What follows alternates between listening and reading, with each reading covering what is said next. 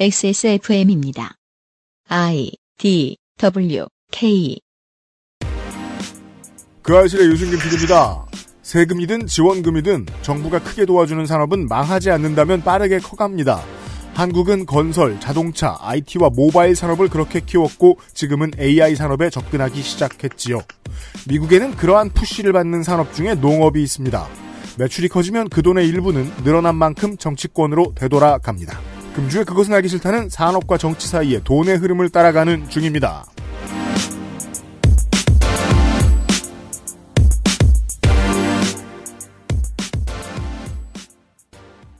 청취자 여러분 안녕하십니까? 옆에는 윤세민 에디터가, 에디터가 있고요. 네, 안녕하십니까. 아, 다시 돌아온 홍영훈입니다. 지금 타이밍이 살짝 엇갈리고 있어요. 네. 그 나성인도 있어요. 네. 음, 네. 다시 돌아온 홍영훈입니다. 네. LA와 저희 사이에 딜레이가 약간 있고요. 네, 저희는 지금 둘 다 나란히 어, 옥수수를 마시고 있는데요. 지금 아까 계속 얘기하다가 하도 땡겨서 콜라 가져왔어요. 네, 아, 근데 캔 뒤를 보니까 아이나다를까 당 시럽이라고 적혀 있더라고요. 그렇습니다. 다른 이름으로 적어놨어요. 광고를 듣고 잠시 후에 아이오와 코커스에 대한 얘기를 해보겠습니다. 그것은 알기 싫다는 한 번만 써본 사람은 없는 빅그린 프리미엄 헤어케어 독일산 맥주 효모로 만든 데일리라이트 맥주 효모 비오틴 액세스몰 음향기기 섹션 관절 건강에 도움을 줄 수도 있는 무르핀에서 도와주고 있습니다. 두피에서 hair loss까지 XSFM과 함께한 5년 빅그린이 자연에서 해답을 찾아갑니다. Big Green 건강한 변화의 시작 빅그린 헤어케어 시스템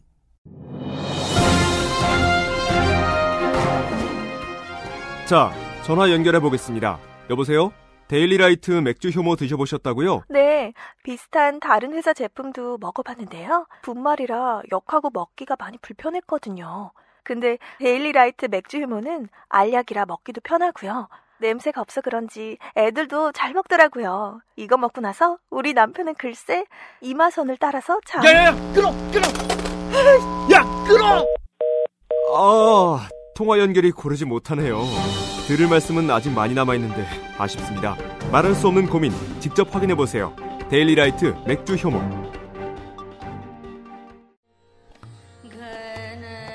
회원 여러분, 제 동작을 먼저 보시고 따라하시면 됩니다.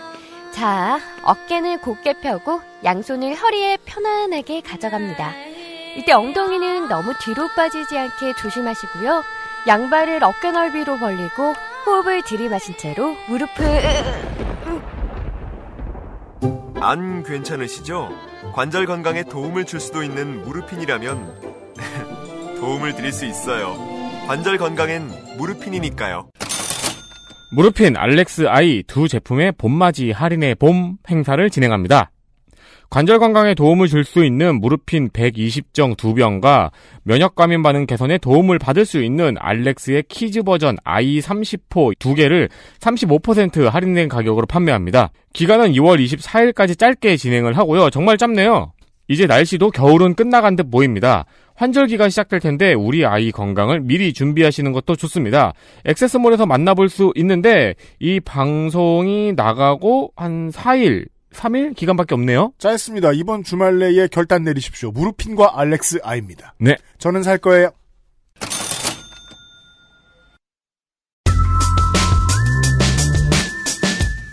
먼 나라 이웃 동네 나성통신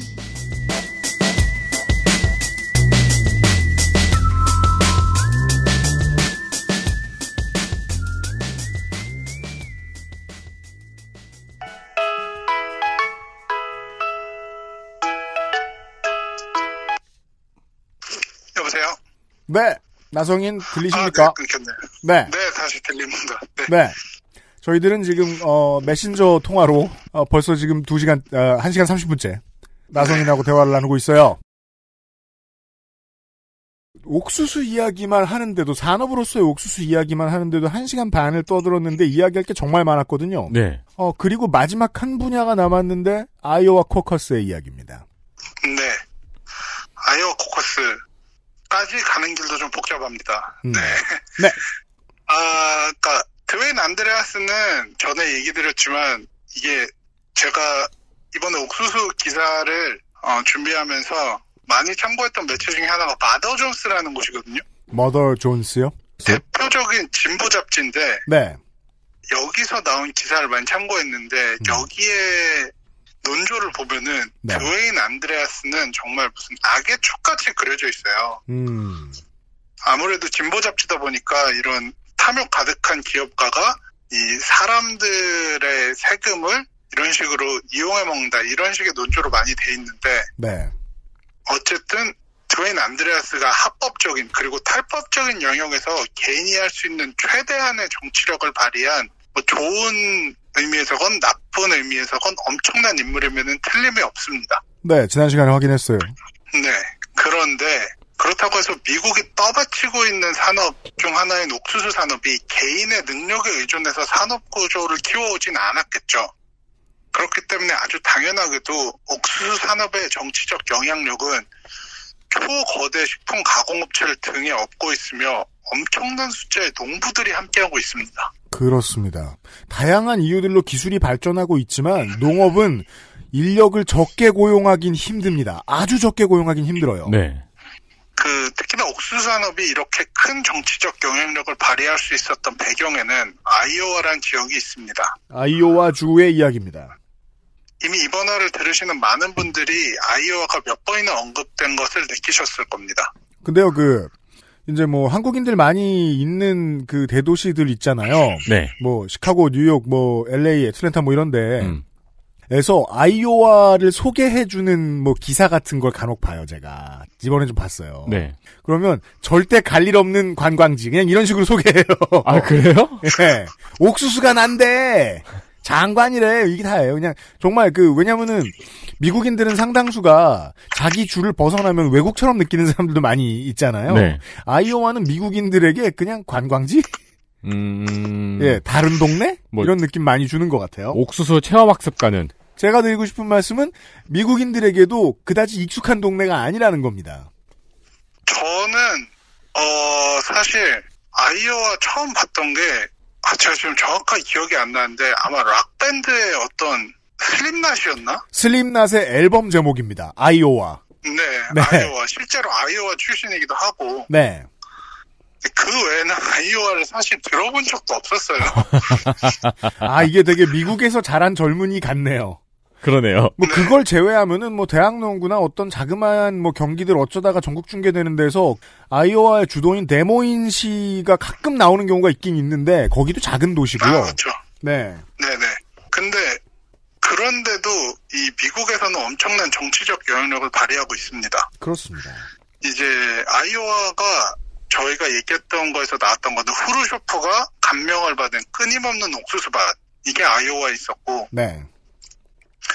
이런 옥수수 밭들은 막 농약을 비행기로 살포하고 그래요. 음, 그렇죠. 네. 그리고 보통은 이제 이런 밭들은 다 대부분 원형으로 돼 있어요. 근데 그 초거대 규모로 농사를 짓다 보니까 네모반 듯한 밭이라 그러면 되게 이상하게 느껴지는 그런 게 있거든요. 어, 그래요? 네, 왜냐하면은 이제 물이나 농약 같은 걸 줄 때 거대한 이제 호수 같은 거를 쫙 연결해서 이렇게 원형으로 쫙 뿌리면서 가다 보니까 아.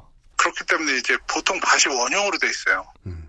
이렇게 엄청난 옥수수 밭 이런 게 아이오와 있고 또 안드레아스가 유년기를 보내고 농축산 산업에 뛰어들기 위해서 대학을 그만두고 돌아온 것도 아이오와입니다. 그렇군요. 네. 아이오와는 어, 미국에서도 뭐 시골이다 뭐 이렇게 얘기되는 주고 농축산업을 기반으로 하고 있습니다. 음.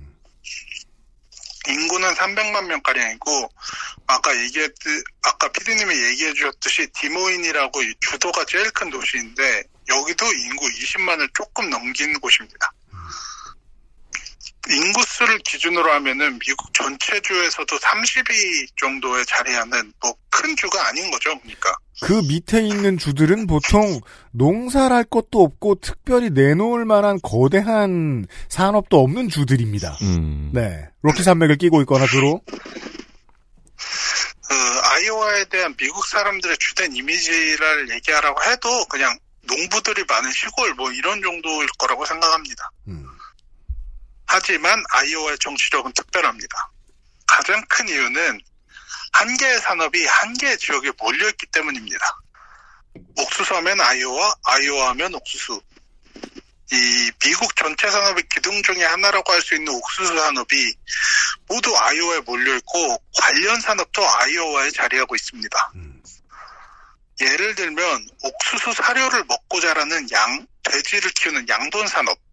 미국 내에서 가장 큰 곳이 아이오와입니다. 네, 미국의 돼지 이제 두수가 가장 많은 곳이 아이오와다라는 말씀. 음, 뭐 개연성이 있네요. 이고요. 한국으로 비교를 하면 산업이 한 곳에 다 몰려 있는 큰 곳. 울산시, 창원시 같은 데를 떠올릴 수 네. 있어요. 거기는 표심이 정말 다르죠. 네, 나머지 네. 지역들하고. 네. 그렇죠.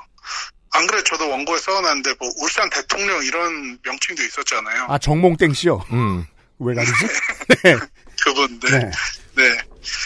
뭐 그렇게 좀 정치적인 지형이 타 지역과는 상당히 다른 부분이 있죠.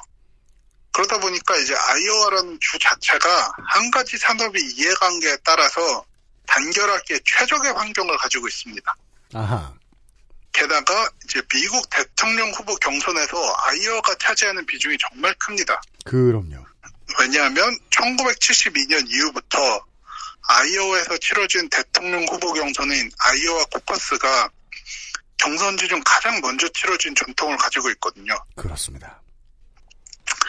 여기서 이제 미국 대통령 후보의 경선 방식을 조금 설명을 해드려야 되는데 기본적으로는 그 대통령을 뽑는 선거와 비슷한 느낌입니다. 이제 각 주마다 대의원을 선출해서 그 대의원이 경선 후보를 뽑는 방식입니다. 네. 그런데 이제 미국은 뭐 주마다 워낙 독립성이 강하기 때문에 주마다 이 대의원을 어떻게 선출하는지에 대한 방식도 다 다릅니다. 네. 그리고 이게 뭐 사실 당내에서 치러지는 선거기 때문에 방식도 제각각일 뿐더러 제도가 바뀌는 경우도 많습니다. 제가 지금 이름을 까먹었는데 이제 중앙선관위에 해당하는 미국의 그 관청이 관여를 아예 안 해버리는 곳들도 있어요. 음. 그냥 당이 선거를 알아서 다 주관하고 처리하는. 한국은 농협조합장도 선관위에서 도와줍니다. 뽑을 때. 네. 네. 어, 선거 방식이 무척이나 다채롭습니다.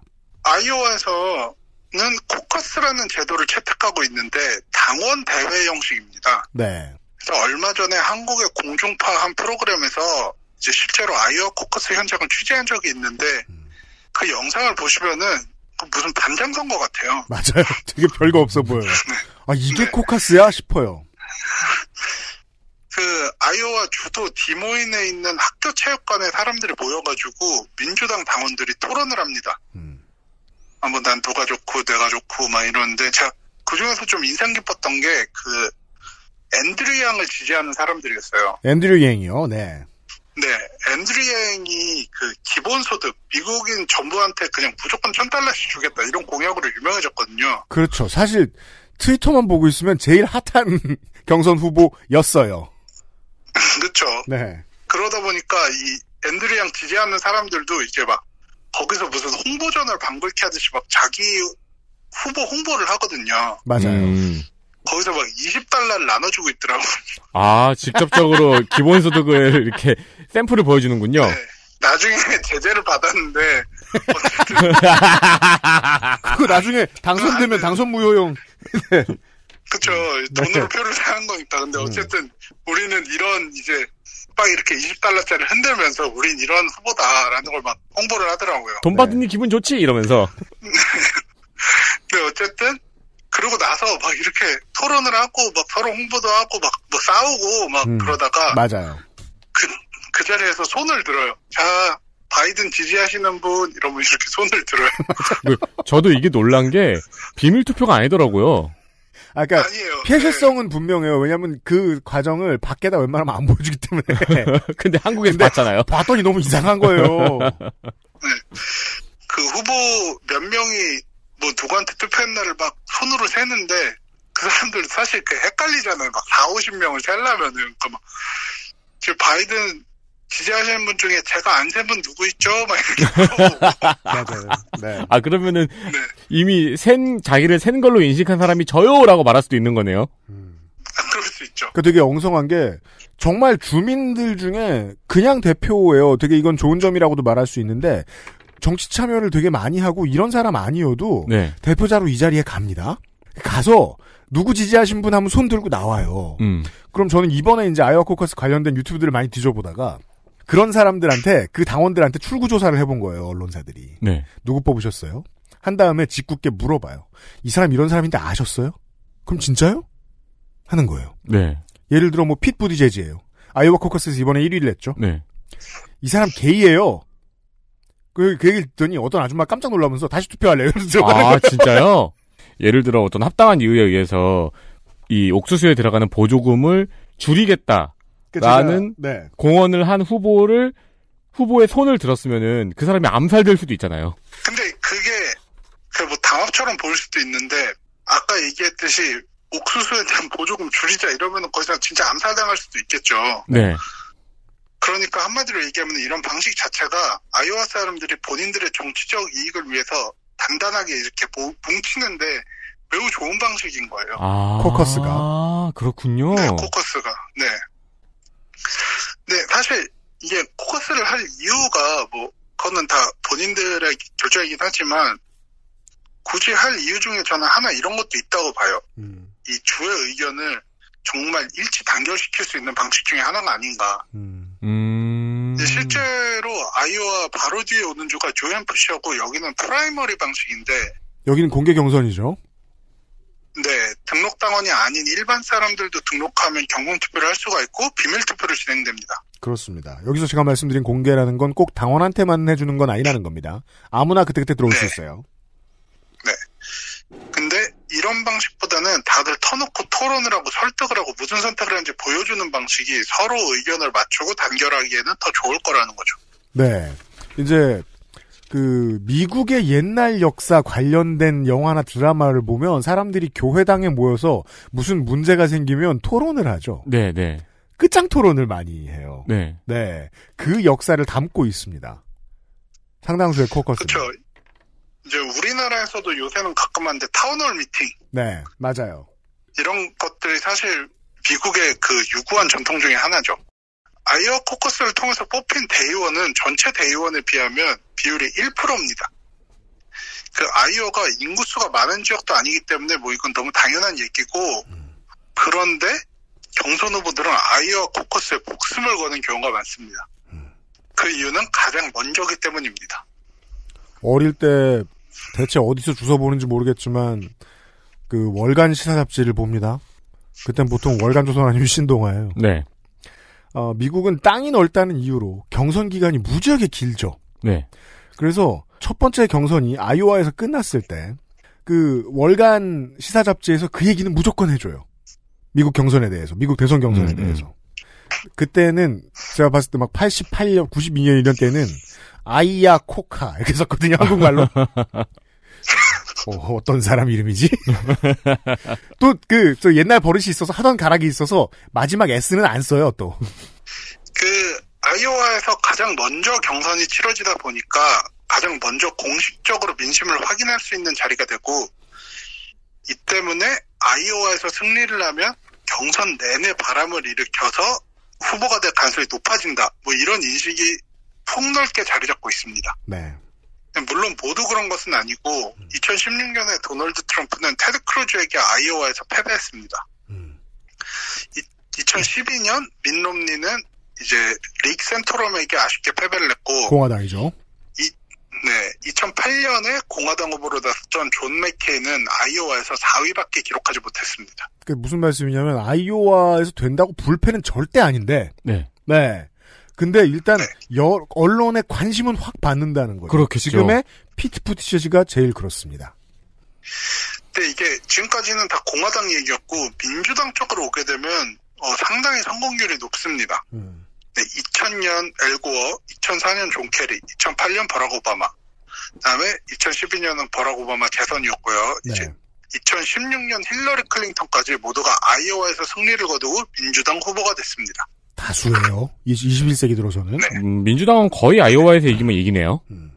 그러다 보니까 이제 당연히 이번 민주당 경선에서 아이오와 승리를 반드시 쟁취해야겠다는 후보들이 뭐 다 후보라면 다 누구나 그런 생각을 했겠죠. 그렇습니다. 네, 그래 뭐 이번 민주당 경선에 대한 해석은 조금 잠시 미루고 음. 그럼 여기에서도 좀 이유가 궁금해지실 텐데 아이오와는 왜 첫 번째 경선지가 된 것일까에 대해서 알아보겠습니다. 좋아요. 네, 뭐 사실 여기에 대해서 아이오가 첫 번째 경선지가 된 이유가 옥수수 산업의 로비로 인해서 뭐 이렇게 설명할 수 있으면은 제 논거가 훨씬 더 탄탄해질 것 같은데요. 아, 그게 아니에요? 네, 실상은 그렇지 않습니다. 아니, 당연히 그럴 줄 알고 준비하고 있었는데. 네, 그 2016년에 National Public Radio NPR에서 나온 기사를 보면은 이 아이오와 토박이 언론인이 캐티 오브라도비치라는 분이 이에 대해서 설명을 했습니다. 이분이 한 얘기가 아이오와 코커스의 위상에 대해서 잘 설명을 해주는데 이렇게 얘기했습니다. 아이오와는 중요해서 첫 번째가 아니라 첫 번째라서 중요한 거다. 아, 이것이 전형적인, 어, 막 던져서 마- 멋있어 보이는 말. 어, 그러네요. 같긴 하지만. 네. 왜냐면 한국에도 오래된 이상한 전통이고 궁금증을 가지는 사람도 별로 없는 문제인데 선관위에서 지역구 순서를 정리할 때 음. 정당에서 지역구 순서를 정리할 때 무슨 근거인지 모르겠지만 무조건 서울시 종로구가 1번이거든요. 음. 국, 총선을 할 때, 국회의원 선거를 할 때. 네. 그 이유에 대해서 도전하는 사람, 그거에 대해서 도전하는 사람들이 별로 없어요. 종로는 김두한의 적이니까요. 그냥 언젠가부터는 첫 번째라서 종로가 먼저 보이기 시작했어요. 음. 네, 여튼. 그 사실 이것도 비슷하다고 할 수 있죠. 이게 그 아이오와가 첫 번째 경선지가 된 게 1968년 민주당 전당대회인데요. 네. 여기서 통과됐을 때는 뭐 어떤 정치적인 아젠다가 있어서라기보다는 아이오와 코커스의 시스템 자체가 좀 복잡했다 그래요. 뭐 카운티 전당대회, 지역구 전당대회, 주 전당대회 이런 식으로 복잡한 과정을 거쳐서 하는 룰이었기 때문에 그러면 아이오와부터 일찍 시작하자. 뭐 이렇게 단순한 이유였다는 게 그 캐티 오브라도비치의 설명입니다. 아, 그냥 정당, 전당대회 절차가 좀 더 기니까 미리미리 하자. 그렇게 해서 1972년부터 아이오와 코커스는 첫 번째 경선지가 됐습니다. 그리고 1976년 민주당 경선에서 아이오와의 중요성이 한층 더 부각됐습니다. 네. 이때 아이오와에서 1등을 한 사람이 이 비전국적인 정치 무대에서는 비교적 이름이 알려지지 않았던 후보였는데 당시 조지아 주지사였던 지미 카터입니다. 뭐 지미 카터는 결국 민주당 후보가 되고 대통령까지 되면서 사람들이 이제 어 아이오와에서 승리를 하면은 백악관까지 길이 열린다고 인식을 하기 시작한 거죠. 물론 이제 같은 NPR 기사를 봐도 과연 아이오와가 첫 번째 경선지가 된 것에 대해서 공정한 것인가에 대해서 좀 의문을 표한 사람들이 늘고 있습니다. 왜일까요? 이제 아이오와는 동네도 워낙 시골이고 인구 구성의 97%가 백인이기 때문에 이 미국을 제대로 대변해주지 못한다는 거죠. 와, 97%가 백인이에요? 네. 지금도 인구 구성은 미국은 백인이 다수인데 네. 어떤 대도시에 사는 사람들은 이해를 못합니다. 백인들 다 어디 갔어? 음. 있는 동네가 따로 있습니다. 그러네요. 네. 네. 이렇게 막 엄청난 미디어의 주목을 받고 중요성이 굉장히 높은 것에 비해서는 미국을 대표하는 주라고 보기에는 좀 힘들죠. 근데 어쨌든 이런 이야기들을 좀 후에 논의될 사항이고 중요한 건 이 얘기입니다. 어떤 이유에서든지 아이오와는 현재도 첫 번째 경선지고 단순히 순서 때문에 생기는 정치적 이득을 아이오와 사람들이 아주 잘 이용하고 있다. 자, 이게 재밌습니다. 이 표현이 맞아 보이는데 중요해서 첫 번째가 아니라 첫 번째라서 중요한 거다. 네. 그럼 첫 번째는 첫 번째라는 사실을 인식하고 난 사람들이 활용하고 싶어지죠. 그렇겠죠. 후보도 활용을 해야 됐고, 그, 아이오와의 주민들도 활용을 해야겠고. 그렇습니다. 물론 이게 이제 우리의 어, 그 아저씨가 내일 예고이기도 한데요. 1과 2는 큰 차이가 없거든요. 어떤 면에서는요? 사람들은 1이면 좋아해요. 네. 예. 여튼, 네. 저는 내일이 무슨 얘기인지 전혀 몰라서 무슨 얘기인지 모르겠네요. 네. 죄송합니다. 글쎄 옳시다. 아, 예, 예. 알게, 정확히 알게 되실 거예요. 네. 네, 저도 청취자로서 기대하겠습니다. XSFM입니다.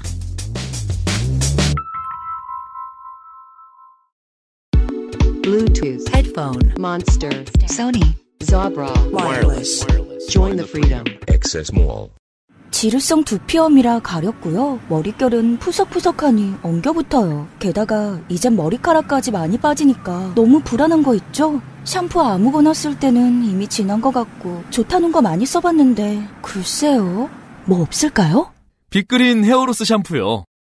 구스베리 추출물로 모근을 더 건강하게 자연 유래 성분으로 자극 없는 세정력 뛰어난 보습 효과와 영양 공급까지 Big Green 이젠 탈모 샴푸도 빅그린 헤어로스 샴푸 안 괜찮으시죠? 관절 건강에 도움을 줄 수도 있는 무르핀이라면 도움을 드릴 수 있어요. 관절 건강엔 무르핀이니까요.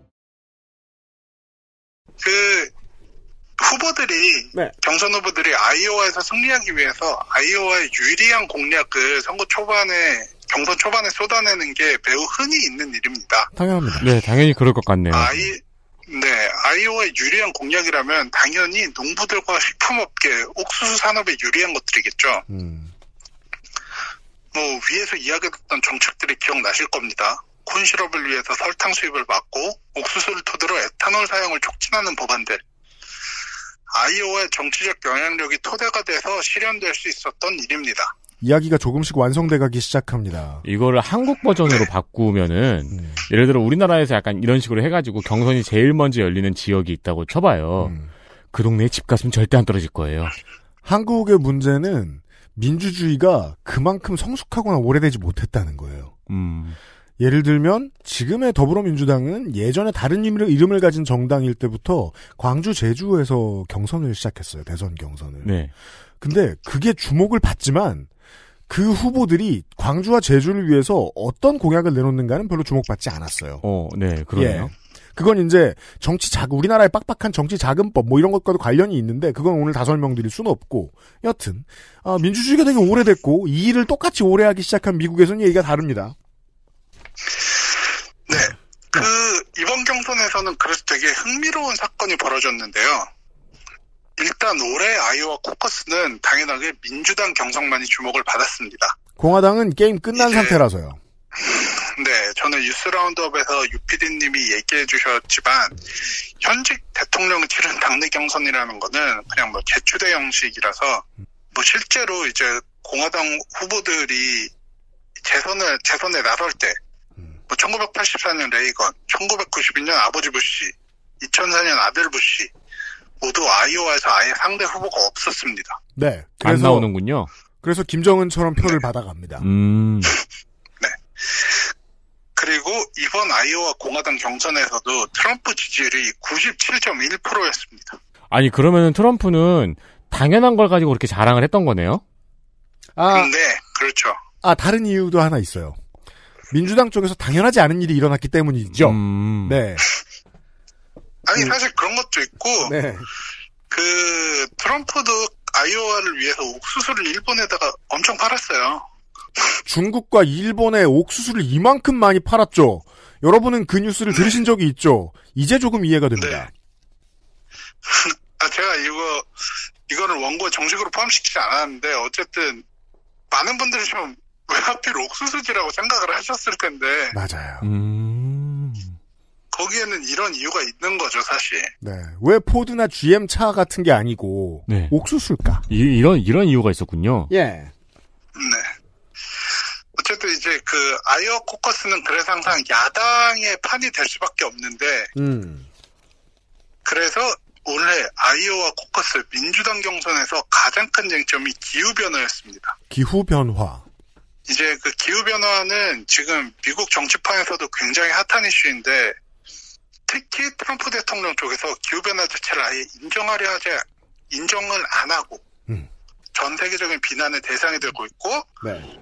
이제 중학생이랑 싸우고 그렇죠. 그러고 있기 때문에 네. 네, 툰베리요? 네. 네.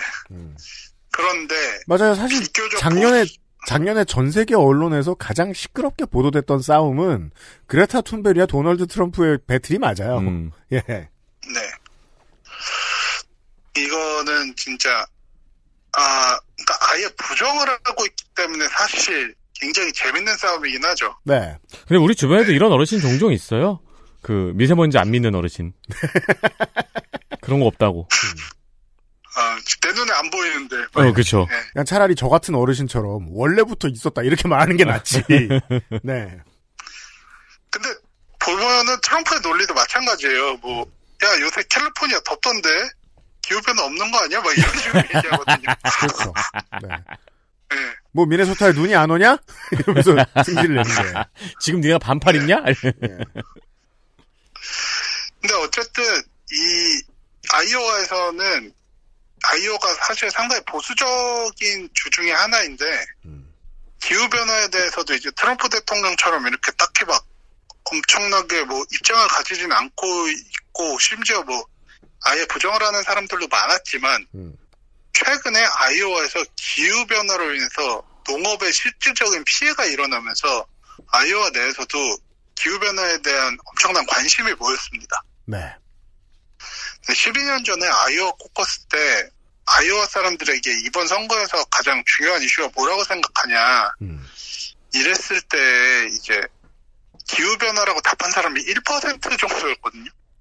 이해됩니다. 근데 최근에는 기후 변화로 인한 직접적인 피해를 입은 사람이 아니 직접적으로 피해를 입었거나 가족이 피해를 겪었다는 사람이 40% 이상이 됐다고 해요. 아 그래요? 네.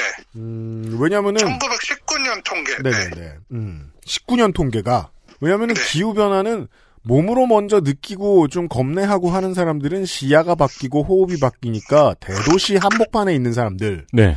그리고 여기에서 확장이 되면 공업단지에 있는 사람들, 공업단지를 끼고 있는 도시에 있는 사람들이란 말이에요. 네.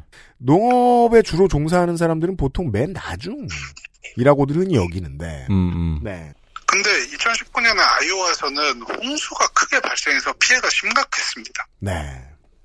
이제 봄에 온 폭우로 인해서 10만 에이커의 땅이 물에 잠겼다고 하는데 에이커는 네, 해석해야 돼요, 우리가. 에이커는 커요. 네. 이게 1억 2천만 평이 넘고 4억 제곱미터가 넘는 규모입니다. 음. 그럼 거기는 그냥 바다 아니에요? 그만큼이 물에 잠겼으면? 미국인들이 네 미국인들이 기후 문제에 대해 관심을 가지게 되는 일 중에 가장 흔한 일이 홍수입니다. 어느 지역에나. 네. 그렇죠. 뭐 카트리나 이런 때도 사실 홍수로 인해서 사회 전체적인 문제로 비화되고 그랬었죠. 네. 맞습니다. 2019년에 어, 홍수로 인한 아이오와의 피해액이 최소 정말 최소로 잡은 통계가 3천만 달러였다고 하니까 피해 규모가 엄청난 걸 알 수 있죠. 그렇습니다. 네, 이러한 피해 자체가 100년 만에 한 번 있을 만한 그런 홍수라고 얘기가 됐는데 지금 현재 아이오와에서는 5년에 한 번씩 일어난다 고 사람들이 말할 정도로 빈번해지고 있습니다. 아, 이거는 베니스의 지금하고도 비슷하네요. 네. 네, 베니스도 이제 물이 오- 차오르는 시기가 그 수위를 예를 들어 좀 정확히 수치는 기억이 안 나는데 예를 들어 100mm라고 해놓고 거, 기에 대비를 해놓는데 그 이상으로 올라가면은 이제 도시가 대처를 못하는 수위인데 네. 그 이상으로 올라가는 일이 진짜 없었는데 최근에는 매년 올라간다고 하죠. 툭하면 주민들이 대피해야 되고. 네. 네, 거주민들이. 어, 게다가 이 아이오와처럼 농업만, 거의 농업만 있다시피 한 곳에서는 수해가 이렇게 자주 일어나면 보험 회사가 이 산업을 싫어하게 됩니다. 네. 지금 아이오와에서는 그래서 기후 변화에 대해서 정치적 각성이 일어나고 있다고 말들을 해요. 이제 아이오와 주정부 차원에서 기후에 관한 농업보험이나 새로운 농업 연구기관 등을 출범시키면서 기후변화에 대한 대응을 하기 위해 노력을 하고 있고 예. 이제 아이오와 시티라는 좀 작은 도시긴 한데 여기서는 온실가스 배출량을 향후 10년간 45% 줄이자는 결의안을 채택하는 등의 변화가 일어나고 있습니다. 실로 정치적 각성이네요. 네. 이러다 보니까 민주당 후보들도 기후변화 정책을 쏟아냈는데요. 특히 뭐 그냥 정책을 쏟아내는 게 아니라 그 알실에서 많이 나오는 얘기지만 정치는 쇼적인 부분이 강하잖아요. 정치는 쇼죠. 네, 그래서 아이오와에서 본인들이 기후변화에 대해 신경을 쓰고 있다라는 걸 보여주기 위해서 한 농부 한 사람을 사람들이 다 찾아가요. 그 사람이 바로 농부인 맨 러셀입니다. 맷 러셀. 이 사람은 무슨 대, 맨 러셀. 대표성이 있는 농부인가요? 그 스토리가 이제 나옵니다. 음. 이제 맨 러셀은 뭐 사실 아이오와에 있는 평범한 농부였는데 지금 갑자기 모든 민주당 경선 후보들을 찾는 핫한 사람이 됐거든요. 네. 이제 뭐 피트 부티지지, 뭐 베토 오로크, 카말라 해리스 이 사람들 다 맨 러셀 농장 방문해서 사진 찍고 비디오 찍었고 음.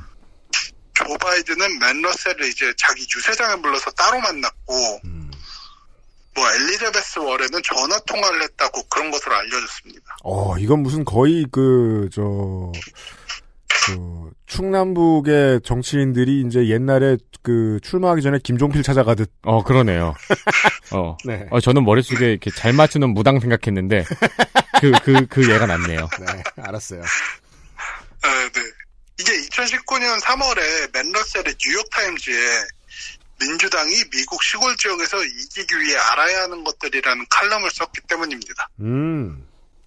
이 칼럼이 시- 이 미국이 실제적으로 농업에서 기후변화로 인한 피해가 발생하고 있는데 트럼프 대통령이 이를 부정하면서 전통적으로 보수적인 성향을 띄었던 시골 지역에서도 민주당이 이길 수 있는 기회가 생겼다. 해안이군요. 이렇게 말하는 칼럼입니다. 아, 저이 선거 전략을 알려주는 거군요. 다만 기회를 활용하려면 시골 지역에 사는 사람들과 소통하는 법을 알아야 된다. 이렇게 말하는 내용이죠. 이래서 모든 선거 캠프에서 그냥 제다이 마인드 트릭처럼 네. 어 이러고서 후보님 가죠 간 거군요 줄줄이 네 근데 이게 사실 민주당에서는 되게 좀 병종을 울릴 만한 내용인 게 민주당은 항상 이제 이런 시골 표심을 못 잡아서 당선이 안 되거든요. 음. 네. 항상 이제 대도시에 있는 고학력자들이 보통 진보적인 성향을 갖고 민주당을 지지하기 때문에 이 그 시골 지역을 잡는 것이 이 사람들은 관건이라고 할 수 있는데 그 사람들한테 이제 맨러셀이 이걸 얘기를 해준 거예요. 아, 저거네요. 기후변화 때문에 피해 입었고 니네가 공약을 내야지 그래야지 여기 가져갈 수 있다. 네. 대구 경북이 최근 매년 홍수가 나고 있는데 자유한국당이 부정하고 있다. 음, 음, 음. 네. 이제 뉴요커랑 이 맨러셀의 인터뷰를 했는데 이렇게 얘기했어요. 아이오와 코커스는 아이오와가 절대 다른 때는 받을 수 없는 언론의 주목이 모이는 때다. 그렇기 때문에 이걸 이용해서 아이오와 사람들이 정말 필요한 요구사항을 후보 측에 전달하는 것은 너무나 당연한 일이다. 정치적으로 똑똑하죠 실제로 그런 농담들 많이 하죠 아이오와는 4년에 한 번씩만 기억난다 사람들이 음. 코커스 할 때 네. 이런 발언들 때문에 이제 그는 아이오와 농부들이 기후변화에 대해 갖는 생각을 보여주는 아이콘과 같은 사람이 됐고, 아이오와의 그레타 툰베리가 됐군요 네. 예. 그 모든 민주당 경선 후보가 한 번쯤은 들러야 하는 캠페인 스탑이 됐습니다. 아 이오와의 현충원이 됐군요 네. 그래서 이제 모든 민주당 경선 후보들이 농부들을 포함해서 기후변화 대책을 세워야 한다. 이렇게 주장을 하기 시작했습니다. 그러니까 이전까지만 해도 뭐 뭔가 탄소 배출을 줄이고 뭐 온실가스 줄이고 이런 거는 막 전기차를 만든다거나 뭐 이런 식의 첨단 기술을 통해서 뭔가를 해야 된다고 여겨졌는데 이제 그 이전에 농업 부분의 의견을 강하게 반영해서 이루어져야 한다. 네. 이런 메시지가 제대로 전달이 된 거고 민주당 경선 후보들도 다들 동의를 해서 막 공약들을 쏟아내기 시작한 거죠. 음. 그러니까 도시민들이 요구하는 환경 정책하고 식량 산업의 주축이 되는 농민들이 내놓는 환경 정책은 성격이 많이 다르군요. 후자를 따르기 시작했다. 그래서 이거 약간 제가 볼 때도 좀 오바 같긴 한데 베토르크가 이 중에서 가장 좀 급진적이고 빡센 공약을 들고 나왔는데 베토 오르크가요. 네. 네 2050년까지 무려 5 트릴리언 그러니까 5경 달러 아 트릴리언을 방송에서 얘기 처음 해봅니다. 저는 돈에 경 붙이는 걸 드디어 봤네요. 네. 네 5경 달러를 쏟아부어야 된다. 이러 그래야지 기후 변화를 멈출 수 있다. 이렇게 얘기를 하더라고요. 이쯤 되면 아이오와 코커스의 가장 큰 베팅을 한 거네요.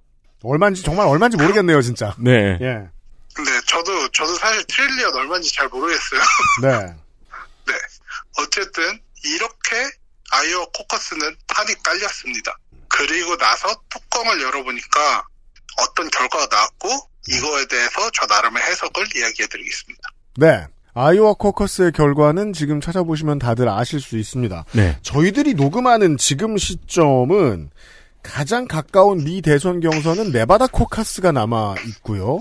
그리고 여기까지는 사실 언론의 주목을 많이 받을 뿐 여러 번 오늘 말씀드렸던 대로 판이 작아요. 한꺼번에 많은 주들에서 경선이 일어나는 날이 옵니다. 슈퍼 무슨 요일 이렇게 불러요. 네, 네. 이번 미 대선 경선에서 가장 가까운 슈퍼 X 요일, 이번에 슈퍼 화요일은 3월 3일로 다가오고 있어요. 그 전까지는 아이오와 코커스 얘기를 한참 하죠. 음. 지금도 그러고 있고요. 사실 제가 이 원고를 준비하면서 아이오와 코커스의 미래에 대해서 이야기를 할 거라고 꿈도 꾸지를 못했고 그냥 결과를 어떻게 해석할지 정도만 이야기하려고 했습니다. 네.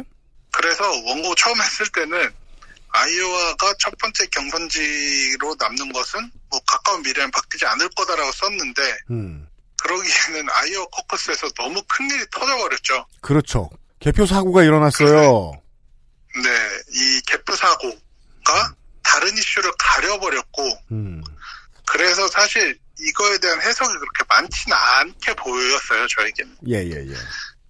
근데 어쨌든 저는 아이오 코커스가 가지는 중요도를 잘 설명을 했다고 생각을 하고 이번에 나온 결과에 대해서 얘기를 드리겠습니다. 한국에서는 한국 언론은 한국인들이 이해하기 좋은 이야기들을 만들어내야 되기 때문에 네.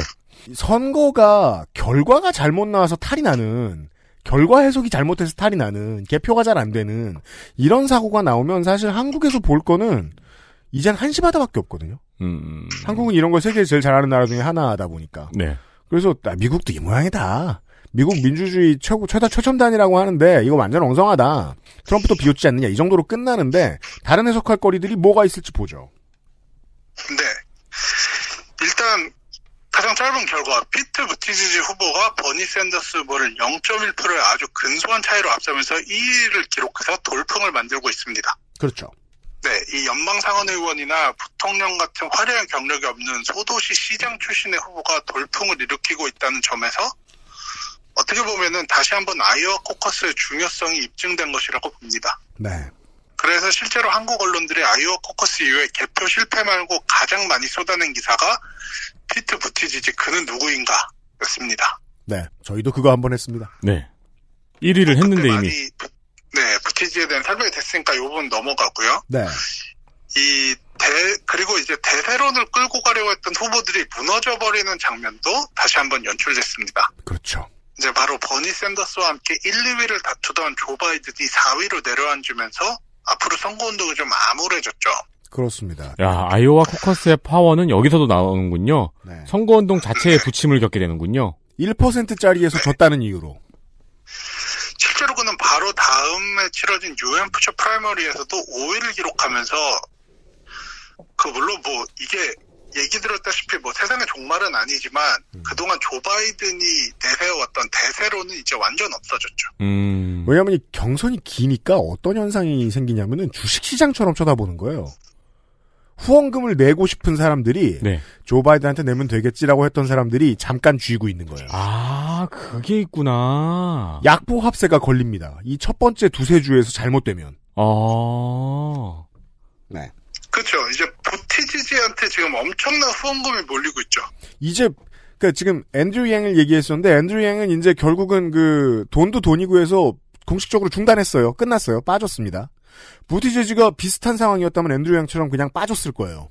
근데 첫 번째 1등을 하니까 지금까지 벌어들인 표가 나중에 표와 얼마나 상관이 없는 것과 무관하게 돈은 들어와요. 음. 그러면 그 다음 경선을 기약할 수 있죠. 네, 그 부분인데 이제 아이오 코커스 같은 경선 초기의 주들이 가장 큰 영향을 미치는 게 선거 자금 면이고요. 이제 경선 초반에 좋은 성적을 내거나 승리한 후보들은 미디어 주목을 받으면서 선거 자금이 많이 몰리게 되죠. 네. 이제 이 때문에 군소 후보들이 경선의 중도 포기를 선언하곤 하는데 이제 제가 개인적으로 지지하던 앤드류 양도 그중 한 명이었습니다. 뉴햄프셔 프라이머리 이후로 이제 선거를 포기했죠. 섣부른 예측입니다만 만약에 캘리포니아까지 올 수 있었다면 앤드류 양은 어, 만만치 않은 성적을 올리고 빠질 수도 있었어요. 네. 근데 본인이 생각하기에 경선 레이스 초반에 기세가 너무 꺾였다라는 판단이었겠죠? 돈이 없는 거예요, 이제. 돈 다 떨어진 거예요. 아. 네. 네. 아, 앤드류양도 물론 부자인데, 네. 근데 이제 선거 운동을 혼자서 할 정도의 엄청난 부자는 아니거든요, 또. 네, 5경 달러도 없고요. 그 마이클 블룸버그에 비하면은 그냥 동전통이죠. 네. 그쵸. 잔돈입니다. 그쵸. 아, 중국계 미국인 앤드류 양. 이분은 아까도 얘기했지만 기본소득이라는 미국인들에게 정말로 파격적인 공약을 들고 나와서 돌풍을 일으켰고 그다음에 이제 선거운동 자체가 되게 좀 유머러스하고 소셜 미디어에 많이 좀 친화적인 형태였어요. 음. 그래서 이제 그 미국인 미국에서 아시안에 대한 되게 큰 고정관념 중에 하나가 아시안들은 수학을 잘한다 이런 거거든요. 네. 이제 미국인들이 한국에 얼마나 많은 수포자가 있는지 보면은 굉장히 이상하게 생각하겠지만 그러니까 말이에요. 그렇죠. 그래서 이제 그런 스테레오타입을 이용해서 MATH, MES라는 그 선거 운동 구호를 만들어냈거든요. M-A-T-H. 네, Make America Think Harder 이렇게 네. 미국을 더 생각을 더 열심히 하게 한다. 이 MAGA Make America Great 네. Again 패러디한 거죠. 아, 하여간 미국은 그런 거 참 좋아해요. 네. 어, Next 막 이런 거. 음, 트럼프의 이전 선거 구호를 예 아, 패러디한 그 내용으로 잘 됐어요. 그러면서 이제 네. 나, 막 엄청 선전을 했지만 음. 아이오와 코커스와 뉴햄프셔 프라이머리에서 의미 있는 결과를 내지 못하면서 결국 중도 포기했습니다. 네. 음. 이제 앤드류 양의 컬트적인 인기가 결성적인 팬클럽으로 또 이어졌는데 이 팬클럽 이름이 양갱이었거든요. 네, 갱갱이라고 불렸습니다. 그뭐 달콤한 음식과는 전혀 상관이 없는. 네. 네. 네, 저도 이제 양갱 중에 한 사람인데 좀 중도 포기가 아쉬운 지점이었죠. 네. 근데 뭐 여기까지는 좀 정치 공학적인 설명이었고 어쨌든 이번에도 아이오의 중요성이 입증됐고 여기까지 오기에 당연히 아이오와 농부들과 이를 이용한 거대 식품회사 및 농축산업계 거인들이 영향력을 미치고 있다는 것을 얘기하기 위한 부분이었습니다. 알겠습니다. 네. 그 외에 아이오와 코커스가 주목을 받은 건 개표 과정에서 여러 가지 문제가 일어나서 3일이 지나서까지 제대로 된 결과를 발표하지 못했고 이 때문에 트럼프 대통령이 조롱을 하기까지 하는 이런 사태를 맞이했다는 겁니다. 네. 근데 사실 이게 저는 어떻게 보면 진짜 허술함의 끝이라고 보이는 게 이게 정말 자세히 들여다보면은 네. 기술적인 문제라기보다는 지금까지 시스템의 잘못이 폭발한 거에 가깝거든요. 맞습니다. 개표에 앱을 썼는데 그 앱의 기술적인 문제보다는 자기네들이 수개표를 한 거랑 앱이랑 뭐 안 받고 막 이런 그동안 허술하게 치러져온 거를 앱이라는 이제 디지털식을 도입하니까 그렇죠. 아 그동안 우리가 허접하게 해왔구나라는 거를 이제 깨달아서 음. 네, 이것도 의심일 뿐이지만 앱의 잘못이 아닐 것이다. 코딩의 잘못이 아닐 것이다라고 흔히들 생각하고 있습니다. 그러니까 정자를 그린 뒤에 숫자로 쓰다가 입력하다 잘못된 걸 것이다. 네. 네. 아까도 얘기 드렸지만 진짜 여기가 그냥 손으로 이렇게 어유 뭐 서른 일곱 여덟 막 이렇게 세서 하는 데다 보니까 사실 오류가 있을 수밖에 없거든요. 그리고 손든 거 세다 보면 되게 헷갈려요. 맞아요. 네. 그 갈대들처 갈대밭처럼 손들이 올라와 있는데 그걸 어떻게 정확히 되나요? 네. 그렇죠. 그러다 보니까 이제 아이오 코커스의 모든 문제점이 본물처럼 터져나왔다고 할 수 있고 이 지각 발표 사태 때문에 비판이 모이고 있습니다. 미국 사람들은 1차적으로 네. 안자번호 이런 거 안 하겠죠? 일렬종대 이런 거. 네, 그렇죠. 그런 거 하면 좀 정확할 텐데. 알파벳 문화권의 문제가 뭐냐면 숫자를 숫자가 단어가 너무 길어요. 아, 그러네요. 다음 절이에요. 네. 그래서 숫자를 못 읽고 못 계산하는 사람들의 비율이 좀 높아요. 그리고 음. 평상시에 대화할 때도 숫자대로 쭉쭉 세는 거 쉬운 일 아니에요. 제가 무슨 말 하고 싶은 거냐면 안자 번호 쉬운 일 아닐 거예요. 그렇죠. 네. 우리나라에서도 얼마나 어렵냐면 다섯, 여섯을 못 하잖아요. 다, 여, 이러잖아요. 그렇죠. 어쨌든 이 이런 허접한 그리고 폐쇄적인 이런 코커스를 고수하는 아이오와에 대해서 비판이 생겼으며 이 엄밀성이 커야 하는 선거가 난장판이 된 거는 이런 코커스의 느슨한 방식 때문이 아니냐 뭐 이렇게 지적이 나오고 있습니다. 네. 이 민주당은 이런 코커스의 방식에 사실 비판적이었고 2016년부터 코커스를 유지하고 있는 많은 주들에게 프라이머리 형식을 채택하라고 권유해왔습니다. 네. 실제로 2016년에 15개던 코커스 채택주가 지금은 7개로 줄어들었다고 합니다. 근데 이런 상황에서 첫 번째 경선주라는 엄청난 주목성과 상징성을 갖고 있는 아이오와가 아직도 코커스를 하는 게 말이 되냐 이렇게 얘기하는 거죠. 음. 그러니까 얼마나 이렇게 정근대적이냐면 실제로 이렇게 코커스 안에서도 선거구 같은 게 있는데 네. 작은 선거구에서는 득표 동률이 나올 경우에 동전 던지기로 승부가 결정되는 경우도 있대요. 어머, 진짜요? 그러다 보니까 가장 반발한 게 샌더스 지지자들이었거든요. 부티지지한테 워낙 근소한 차이를 지다 보니까 사실은 우리 이거 진 거 아니다. 음. 동전 던지기 몇 개에서 졌을 수 있다. 네. 그러면서 이제 막 수개표를 요구하기도 하고 막 하여간 복잡한 이제 과정들이 있었고 네. 이러다 보니까 이제 당연히 오- 아이오와가 지나친 대표성과 중요성을 가지고 있다면서 첫 번째 경선주를 바꿔야 한다는 이야기도 나오고 있습니다. 어쨌든 뭐 실제로 워싱턴 포스트가 아이오와의 인구 통계와 작은 규모를, 규모를 보면은 중요성이 너무 큰 게 아니냐는 지적을 했고 이런 지적이 나오다 보니까 이제 완전 이제 춘추 전국 시대가 열리는 거죠. 경선 첫 번째 주라는 정치적 이득이 워낙 큰 걸 이미 몇십 년 동안 봐왔기 때문에 엄청나게 많은 주들이 이 자리를 노리고 있습니다. 아, 그렇구나. 한전 이전. 이걸 마치 뭐 올림픽 개최나 뭐 슈퍼볼 개최처럼 네. 다투고 있을 수 있네요. 그렇죠. 그 이미 일리노이 주지사인 제이비 프리츠커가 아이오가 첫 경선지로 부족하다. 우리가 첫 번째 경선지가 되도록 노력하겠다. 하면서 이제 특히 뭐 일리노이의 인구 구성 같은 게 미국의 다양성을 대표할 수 있다면서 막 인터뷰를 하고 다녔고 여기는 농업부터 첨단 산업까지 5만 개 다 있고 인구도 많죠. 음. 그리고 뭐 항상 지지 성향이 오락가락 해가지고 미국 대선의 키포인트 중 하나로 얘기되는 오하이오주 네. 이런 것도 이제 첫 번째 경선지로 많이 거론이 되고 있습니다. 그렇습니다. 이렇게 폐쇄성에 대한 의문이나 첫 번째 경선지에 대한 의문이 제기되는 가운데 아예 그냥 아이오와 뉴햄프셔를 비롯한 초기 경선주를 무시하는 사람도 있는데요. 이번에 지금 가장 강력한 후보로 꼽히고 있는 인물이 그러고 있죠. 네, 그게 바로 뉴욕시장 출신의 억만장자 마이클 블룸버그입니다. 네.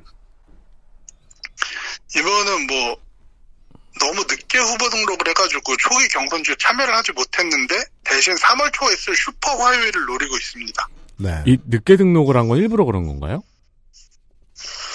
아, 요것도 이제 뒤에 그 내용이 나오는데 사실 어, 마이클 블룸버가 그 전에도 이 경선에 대해서 욕심을 안 드러낸 건 아닌데 특히나 포지션이 어떤 거였냐면은 버니 샌더스가 같은 너무 급진적인 사람이 나오면 트럼프를 못 이긴다. 아. 조금 더 중도적인 사람이 나와야 된다고 계속 주장을 했는데 이제 본인 얘기로는 바이든이 그런 후보로 적합하기 때문에 나는 바이든을 지원하겠다는 식으로 해서 이제 경선에 참여를 안 하고 있었거든요. 음. 근데 바이든이 주저앉고 있죠, 지금. 네. 그러다 보니까 이제 후보 등록을 늦게 하게 된 거고, 그래서 이제 초기 경선주엔 참여하지 못한 거죠. 근데 뭐 아까 잠깐 설명을 해주셨지만 슈퍼 화요일은 캘리포니아를 비롯한 14개 주에서 일제히 경선이 치러지기 때문에 뭐 인구수가 훨씬 많죠. 뽑히는 대의원 수도 훨씬 많고. 음. 그러다 보니까 이제 블룸버그는 이 지점을 노리고 있고 블룸버그가 아이오와 코커스가 열린 2월 3일 캘리포니아주 캄튼에서 뉴욕타임스와 인터뷰를 하면서 초기 경선주에서 승리를 잡아야 한다는 건 낡은 선거 방식이라고 말했습니다. 아까 얘기했지만 그는 조 바이든이 추락을 본인에게 호재로 느끼고 있고 그래서 미국 전역의 TV 및 라디오 광고에 2억 5,400만 달러 그리고 페이스북과 구글 광고에 4,700만 달러를 쏟아부었습니다. 지 혼자 슈퍼볼처럼 돈을 쓰네요. 네. 이 저도 이걸 느끼는 게 제가 이거를 리서치를 하려고 막 대선 후보 같은 거 구글에다 검색을 해보잖아요. 네. 뭐 베토 오로크도 검색하고 피트 부티지지도 검색하고 그럴 때마다 맨 위에 항상 블룸버그가 떠요. 맞아요. 예, 그, 그니까 그, 그게 안 써 있을 거예요, 아마. 스폰서 광고 안 써 있을 거예요. 그렇지만 스폰서 광고보다 앞에 나온다, 마이클 블룸버그가. 네, 누구, 누구 어떤 대선 후보를 검색해도 블룸버그가 제일 먼저 나와요. 그러니까 예를 들어 이렇게 설명해 보자고요. 지금 한국은 요새 양대 정당에 대한 양비론이 유행이에요, 진보로부터. 쟤들도 다 똑같은 놈들이다. 그러면서 보수 언론에서 가끔씩 찌르는 얘기가 있어요. 민주당 한국입니다. 더불어민주당입니다. 더불어민주당 국회의원들 평균 저 재산 소 재산 보면 더불어민주당 이번에 장난 아니게 부자다. 음. 근데 분당에 김병관 의원 빼놓으면 그지거든요. 왜냐하면 그 한 사람이 평균을 너무 많이 올려놔서 음, 음. 옛날 정몽준 효과죠. 네. 그런데 그 김병관을 붙이면 제가 아까 뭐라고 했죠? 마이클 블룸버그의 동전통입니다. 네. 그 지금 그러니까 거의 3억 달러가 넘는 돈을 쓴 건데 한 방에 이 돈은 네 근데 이 돈이 얼마 크냐면은 나머지 블룸버그를 뺀 나머지 후보들 중에 top 4 후보 들이 지난 6개월 동안 쓴 광고비가 9,400만 달러래요. 네. 그러니까 나머지를 다 합한 것보다 3배가량 많은 물량 공세죠. 와. 민주당 경선의 미국이죠. 이 사람이. 이게 네. 가능하다는 것도 웃기네요. 네. 네. 아, 물론 이제 여기에는 되게 슬픈 것도 있는데 또 하나의 억만장자 후보, 톰 스테이어 후보 있거든요. 네. 이분은 이제 아이오와에만 광고비를 1,700만 달러를 쏟아부었대요. 음. 아, 그거 폭, 폭망하셨군요. 네, 그리고 나서 1%를 득표하셨습니다. 음. 어려운 그래요. 일이에요. 아, 물론 뭐 돈만 가지고 되는 건 아니긴 합니다. 네. 네. 요런 상황이고, 음. 이제 블룸버그는 초기 경선에 참여하지 못하면서 그 중요성에 대해서 꾸준히 막 폄하, 무시를 해왔거든요. 네. 그렇기 때문에 이제 블룸버그가 진짜 아이오와 코커스의 승자가 아니냐 말도 나왔습니다. 음. 이제 그렇죠. 개표 참사가 벌어지면서 아이오와부터 일어나는 돌풍이 생각보다 크지 않을 수 있기 때문인데요. 음. 그리고 이제 샌더스와 같은 지나친 좌파 정책으로는 트럼프를 이길 수 없다고 그가 바이든이 아무래도 아이오와에서 부진했으니까 블룸버그에는 이거보다 더 좋을 상황은 없겠죠. 예, 슈퍼 화요일에 짠 하고 뒤늦게 등장할 아주 좋은 그림이 마이클 블룸버그에게 그려졌다. 네. 아, 이제부터는 이제 결론 부분인데요. 네. 제가 이제 옥수수에 대한 얘기를 드리는 거는 거대 자본이 어떻게 정부를 움직여서 우리의 자유를 제한하는지 이야기를 드리고 싶어서입니다. 네. 이제 미국에 사는 저는 스스로도 모르게 세금을 통해서 아이오와에 있는 거대 슈퍼마켓에 엄청난 돈을 주고 있었던 거죠. 그렇죠. 근데 이제 그냥 세금도 있지만 간접세도 됐을 거예요. 네. 뭘 사 먹으면서. 근데 극장에 가고 음료를 마시고 빵을 먹고 고기를 먹고 뭐 이런 거에도 다 저는 알게 모르게 옥수수 산업을 지원하고 있었던 거고 미국인이라면 네, 심지어는 친환경 에너지나 기후 변화에 대한 정책을 지지하면서도 나도 모르게 그들한테 도움을 주고 있었던 거죠. 이 정치 재밌어요. 네. 네. 그러니까 사실 아이오가 과한 대표성을 가지게 되는 데는 역사적 맥락과 배경이 있었다는 겁니다. 그리고 그들이 이렇게 역사를 거쳐오면서 다양한 산업 분야에서 중추적인 역할을 한 데는 거대 자본을 통한 로비가 있었습니다. 네. 안드레아스가 그 양대 후보들을 움직이기 위해서 뿌린 몇백만 달러. 사실 엄청나게 큰 돈이죠. 몇십억이니까. 네. 근데 한 해 그들한테 세금으로 들어가는 몇십억 달러에 비하면 푼돈 중에 푼돈입니다. 그게 푼돈이니까 로비를 하는 거죠. 네. 반대면 안 되죠. 네, 전체 인구의 1%를 차지하는 아이오와가 모든 정치인들이 구애를 하는 장소가 됐듯이 이 푼돈이 아주 적절하게 쓰여서 결국은 산업 자체를 떠받쳐왔고 세계 최강대국의 산업 구조에 뺄 수 없는 부분이 됐습니다. 그렇게 됐네요. 그럼 어떻게 몇백만 달러를 몇십억 달러를 벌어올 수 있었을까요? 이건 되게 간단하죠. 대의제 민주주의가 자본에 취약할 수밖에 없는 지점입니다. 국민이 아닌 극히 일부의 정치인한테 돈을 뿌리면 되니까요. 음. 그렇습니다. 네. 한국은 이런 경험이 없다고 생각하실 수 있는데 당연히 있죠. 네. 이 팟캐스트를 들은 대부분의 분들이 삼성이 망하면 나라가 망한다는 소리에 동의를 안 하시겠지만 삼성이라는 거대 자본이 휘두르는 강력한 권력 때문에 이를 믿는 사람들도 주변에서 쉽게 찾아보실 수 있었을 겁니다. 네. 그러니까 완벽하게 이제 삼성의 자본으로부터 독립한 메이저 언론도 이제 드디어 나왔습니다만 아주 오랜 시간 동안 한국의 언론은 삼성 것 이라는 게 사실로도 밝혀졌고요. 거의 사실로도. 네. 기사 허락을 받고 음. 이렇게 삼성이 이런 지위를 가지는 데는 아이오와 거대 식품회사 못지않은 다양한 로비들이 있었고 실제로 우리는 이전 정부 때 어떤 방식으로 이런 로비가 이루어진지 정확하게 목격을 했습니다. 네. 대통령한테 몇 억짜리 말 사주면 기업 지배구조를 본인에게 유리하게 만들 수 있는데 그걸 누가 안 할까요? 이거보다 더 효율 좋은 투자가 없죠. 국민연금을 움직이는 비용치고 너무 싸죠. 네.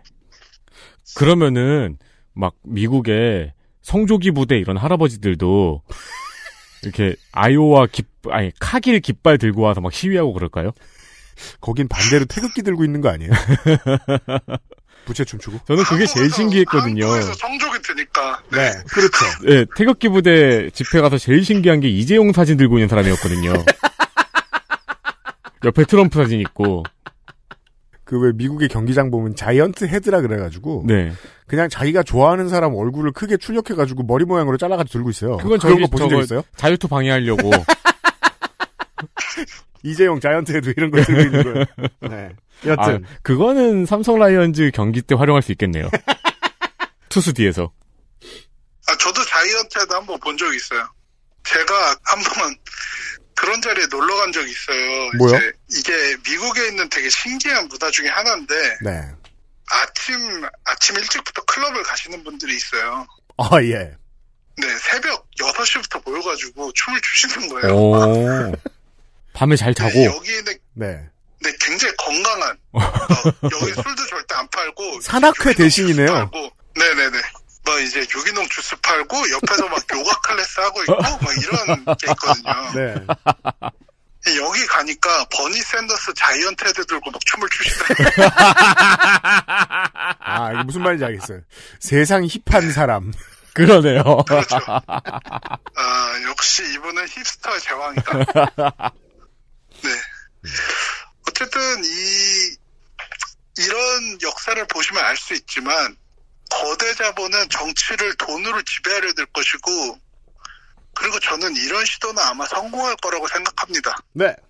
제가 나성통신을 하면 맨날 이벤트로 끝을 맺는 것 같은데 음. 네 이게 한국의 미래입니다. 그런 얘기였습니다. 네. 네. XSFM입니다. Bluetooth, headphone, speaker, Sony, Monster, wireless. Join the freedom. XS Mall. JJL. Speaker. Charge 3. Bluetooth speaker. Go. Clarity. HDBT. Headphone. Headphone. Bluetooth.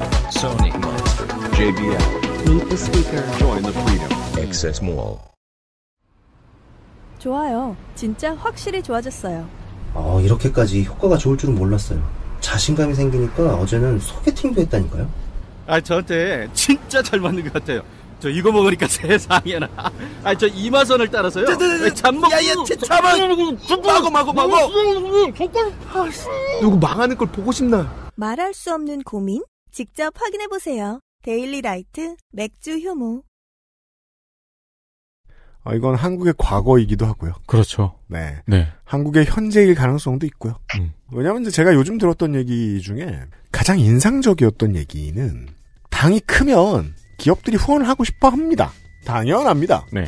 그런데 이번 총선을 앞두고 기업들이 잘 해주고 싶은 야당이 없어서 고민이다. 라는 얘기를 들었어요. 음. 눈이 번쩍 뜨였어요. 이것이 바로 이 지금 여당을 싫어하는 사람들이 말하는 야당 복의 실체구나. 그러네요. 음. 제가 드리고 싶은 말씀은 아, 나성인의 말씀하고 동의를 합니다. 돈은 정치인을 찾습니다. 대의민주주의 사회에서 본능적으로요. 그럼 냉정하게 말하면은 민주당은 기업의 관심을 끌어올 전략도 짜고 있어야겠네요. 당연합니다. 그래서 우리가 좀 이해할 수 없는 어떤 일들이 생기는 거기도 합니다. 네. 네. 하여튼 나성인은 언제 오세요 이제? 아 저요 계획을 세우고 싶지 않은데 4월 달에 한번 갈까라는 생각을 하고 있습니다. 가까운 시일 내에 좀 가보려고 노력을 하고 있습니다. 봄날에 만나죠. 네. LA에서 나성인이었어요. 수고하셨고요. 아, 저희들도 이만 물러가도록 하겠습니다. 어, 에디터하고 PD였고요. 내일 이 시간에 뵙도록 하겠습니다. 네. 내일 이 시간에 뵙도록 하겠습니다. 네. 예고했습니다. 나성인과 청취자 여러분 안녕히 계세요. 네, 감사합니다.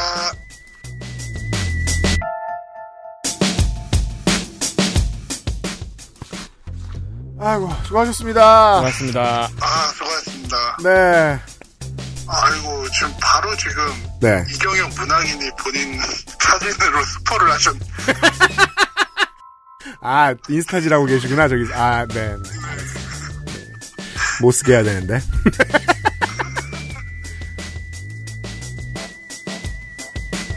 XSFM입니다. I D W K